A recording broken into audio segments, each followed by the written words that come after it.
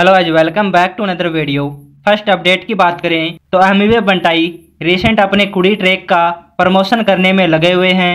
तो उनका मीडिया के साथ एक वीडियो सामने आया है, जिसमें मीडिया वालों ने हनी पाजी और अमीवे बंटाई के कोलेब के बारे में पूछा है। इस पे अमीवे बंटाई ने जो कुछ भी बोला है, आप खुद वो क्लिप चेक करो। हनी भाई के साथ तो इनशाला राइट वक्त पे, सही समय पे, सही टाइम पे, क्योंकि पाजी से बात हुई है और पाजी ऑल नो कि लाइक नो हमारा नेट पे दिखता रहता है कि हम लोग क्या बात करते हैं, कैसे पुट आउट करें चीज़ें तो सरप्राइज़ है, सही वक्त पे, सही टाइम पे सडनली बम फटेगा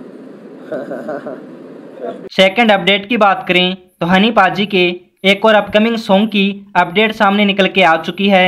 आप लोगों को मालूम होगा हनी पाजी ने रिसेंट अपने एक सॉन्ग की अपडेट दी थी जिसको मिहिर गुलाटी ने शूट किया है और इसके शूट के वक्त की काफ़ी सारी पिक सामने निकल के आई थी जिसपे मैंने ऑलरेडी वीडियो बना रखा है। आप लोगों ने नहीं देखा तो जाके चेक कर लेना।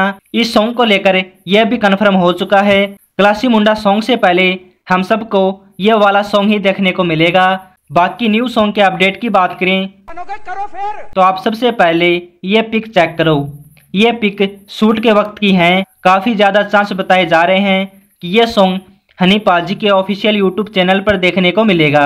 आप एक पिक देख पा रहे होंगे, जिसमें हनी पाजी बच्चों के साथ नज़र आ रहे हैं। तो ये ट्रैक नॉर्मल बच्चों के लिए देखने को मिलेगा, जैसे हनी पाजी का करमपुरा पर नोट फेंको सॉन्ग देखने को मिला था। वैसे ही यह सॉन्ग भी नॉर्मल बच्चों के लिए बना रहे हैं, और हाल ही में हनी पाजी ने इसकी शूटिंग भी कंप्लीट कर ली है।